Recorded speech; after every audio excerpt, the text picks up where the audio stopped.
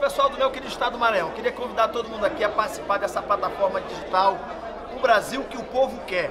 Uma plataforma de debate, de discussão, de ideias, de elaboração é, de um projeto para esse país, que seja capaz de abarcar toda a nossa diversidade, toda a nossa pluralidade, toda a nossa riqueza que existe nesse país e no estado do Maranhão. Portanto, queria convidar você aqui a participar, a usar o seu computador, a usar o seu celular, enfim, usar a sua plataforma digital e fazer parte desse grande debate democrático sobre o Brasil que o povo quer. E nós certamente queremos um Brasil mais democrático, um Brasil mais justo. Participe!